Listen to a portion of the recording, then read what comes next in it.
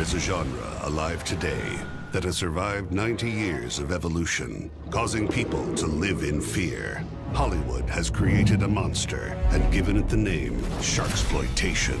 It's because of Jaws. Shark craze, which has gripped America. Suddenly, society developed this massive fear of sharks. Sharkmania. Movie that made $100 million and everybody wanted some of that. Our focus was creating a shark.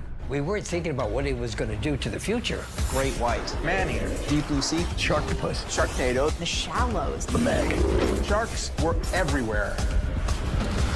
You watch shark movies, you watch shark documentaries. This creature is a Hollywood celebrity. The shark is a natural monster in the ocean. Why we are scared when we're standing in three feet of water at the shore. Sharks. It ignites something in us that makes us feel alive. Sharksploitation. Stream now on Shudder.